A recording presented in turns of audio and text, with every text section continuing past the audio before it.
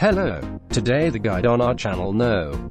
380. We present the replacement of the motherboard in Sony XZ. The phone started to vibrate after the fall and it shone all the time.